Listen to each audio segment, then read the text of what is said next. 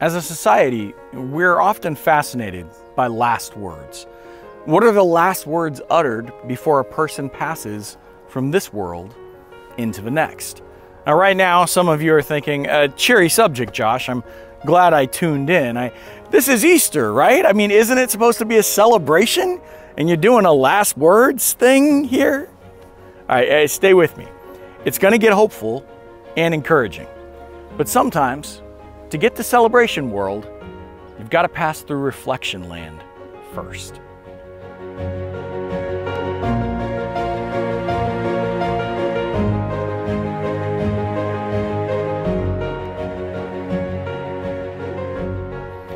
If you Google last words, you'll find over 41 million results.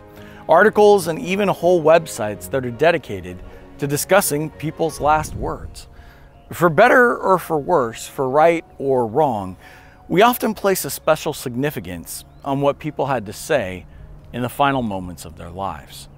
And sometimes the words are poignant, sometimes they're sweet, sometimes they're funny. When a priest told Charlie Chaplin, May the Lord have mercy on your soul, as he was on his deathbed, Charlie Chaplin said, Why not? After all, it belongs to him. And sometimes final words are mysterious. Walt Disney's purported final words was a name. The name of a young actor who had appeared in some of his films Kurt Russell. Now, nobody knew why or what Disney meant to express, and even the famous Snake Plissken actor isn't sure what Disney was about. But either way, Kurt Russell was Disney's last words. It's Easter, and it's time to remember and reflect on what Jesus did for us. It's time to celebrate what Jesus did for us. Actually, we should do that every single day, and especially every single Sunday until Jesus comes back. But this is the day that we've marked on the calendar to put special significance on the most important action taken in the history of mankind and the most generous gift presented to us. Now, in Scripture, we find seven statements that Jesus made as he was on the cross, sometimes referred to as seven sayings of the cross. Whose final words could have more significance than those of Jesus Christ, the Son of God, the Messiah, our Savior? So here they are here are the seven statements of the cross, Jesus' final words before his death. Father, forgive them, for they do not know what they do. Truly, I say to you, you'll be with me today in paradise. Woman, behold your son. Son, behold your mother. My God, my God, why have you forsaken me? I thirst. It is finished. And finally, Father, into your hands I commend my spirit. Now, these are all profound and powerful statements. Father, forgive them, for they do not know what they do as a statement about forgiveness, even for heinous acts. Also, a statement about the people not recognizing the Christ for who he truly was. Uh, truly, I say to you, today you'll be with me in paradise. A statement about eternal life being available to people no matter their background, simply for putting their trust in Jesus. Followed by a statement that not only do things of the next world matter, but also things of this world. When Jesus puts John in charge of taking care of Mary, entrusting her welfare to him with, Woman, behold your son, son, behold your mother. And then a reminder that Jesus was not only fully God, but also fully human. And a painful and questioning statement perhaps in the very moment that Jesus was taking the sins of the world upon himself, all of them, past, present, and future, when Jesus asked, My God, my God, why have you forsaken me? Uh, the next statement would be a reminder that Jesus was indeed human with human needs as well as being fully God. But it was also a simple fulfillment of prophecy in the messianic Psalm 69. Uh, here it is. Um, that was, uh, I thirst. Uh, then he says, It is finished. A declaration that the mission Jesus came to fulfill was complete. And in the powerful Father, into your hands I commend my spirit, we had a reminder that Jesus had said he had the power to lay down his life. Nobody takes it from him. And this was proof that that was true. We're often fascinated by last words, but these are not Jesus's last words. These are Jesus's last words before he would show the world that he would have the last word when it came to death. He would have the last word when it came to sin and hell and the grave. These are not the final sayings of Jesus. These were the last phrases that Jesus uttered before proving that he had the final say when it came to eternal life. We're fascinated by final words, but what about first words? I mean, we all want to know what a baby's first words are, right? So we can put it in the scrapbook, tell stories about it later. Uh, in case you're wondering what my daughter Tara's first words were, uh, the first word that we could make out that she said was good, which was in reference to the food that she was eating. Uh, considering the stuff that I would sneak her, I suppose I'm lucky that her first word wasn't donut. I say I'm lucky because you would have found out my last words after my wife would have killed me. But all's well that ends well. It's Easter. It's the day we celebrate when Jesus rose from the grave. Do you know what Jesus' first words were after the resurrection? Now, you'd think that the first words after Jesus came back to life would be powerful. Uh, maybe they demonstrate what Jesus cares about. Whatever he would say would communicate value to whoever he was speaking to? Well, let's find out. This passage is from John chapter 20, starting with verses 1 and 2. Early on Sunday morning, while it was still dark, Mary Magdalene came to the tomb and found that the stone had been rolled away from the entrance. She ran and found Simon Peter and the other disciple, the one whom Jesus loved. She said, They have taken the Lord's body out of the tomb and we don't know where they've put him. We can only imagine the turmoil that Mary Magdalene was going through. At the beginning of the week, she had witnessed Jesus triumphantly enter the city of Jerusalem on Palm Sunday with fanfare and excitement. People thought that Jesus would be king. But by the end of the week, Jesus' followers and fans must have thought something went horribly wrong. Jesus would be beaten and executed. His followers weren't permitted to give him a proper burial. And all during the weekend, Mary probably thought over and over about giving Jesus the simple honor of a proper burial. On this morning, Mary woke before there was no light in the sky. And maybe she had trouble sleeping. Just another sleepless night, just waiting until the Sabbath was over at sunrise so she could visit Jesus' tomb. When she arrived at the tomb, however, she saw that the stone had been rolled away and there was no body inside. So she went to get Peter and John. It says, She ran and found Simon Peter and the other disciple, the one whom Jesus loved. She said, They've taken the Lord's body out of the tomb, and we don't know where they have put him. Peter and the other disciple started out for the tomb. They were both running, but the other disciple outran Peter and reached the tomb first. He stooped and looked in and saw the linen wrappings lying there, while the cloth that had covered Jesus' head was folded up and lying apart from other wrappings. Then the disciple who had reached the tomb first also went in, and he saw and believed. For until then, they still hadn't understood the scriptures that said Jesus must rise from the dead. Then they went home. Now, was this confusing to Mary Magdalene? Did she have a different perspective than Peter and John? Uh, did they understand and she didn't? Or did only John get, was hap- get what was happening at first? Did Mary not believe that Jesus was really resurrected? Uh, the way that this story is laid out in John chapter 20 is a little bit confusing and it does leave the readers with some questions as to what exactly happened. But it appears that Peter and John examine the tomb and then go home and leave Mary there. And that was it.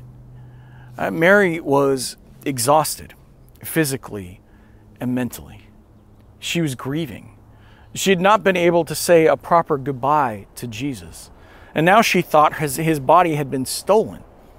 And the people that she expected to understand and empathize and sympathize with her have looked around and gone home. And it's at this point that Mary breaks down and cries. Mary was standing outside the tomb crying, and as she wept, she stooped and looked in. She saw two white robed angels, one sitting at the head and the other at the foot of the place where the body of Jesus had been lying. Dear woman, why are you crying? The angels asked her. Because they have taken away my Lord, she replied, and I don't know where they have put him. Now, the word used to describe crying in verse 12 is not a little cry. This was wailing. Mary was beyond distraught inconsolable. Eh, she probably didn't recognize that she was speaking to angels.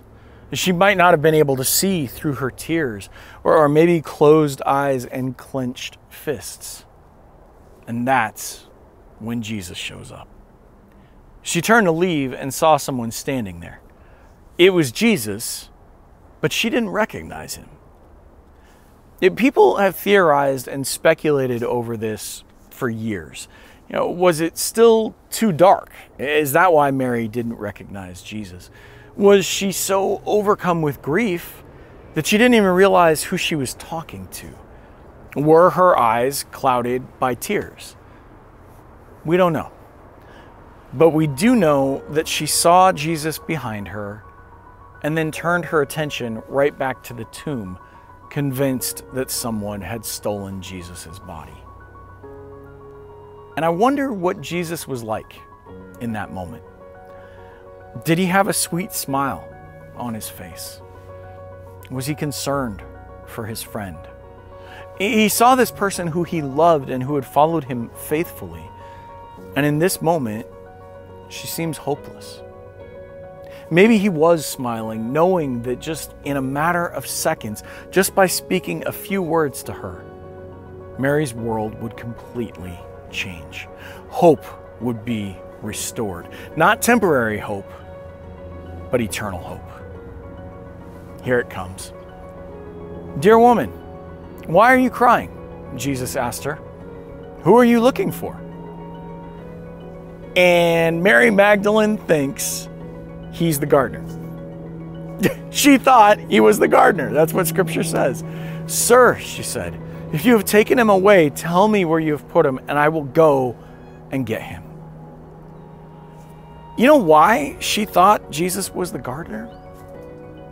Because she didn't expect to see him there. In that moment, she might not have ever expected to see him again. She might never have expected to have hope again. But that's all about to change. Mary, Jesus said. She turned to him and cried out, Teacher. Don't cling to me, Jesus said, for I haven't yet ascended to the Father.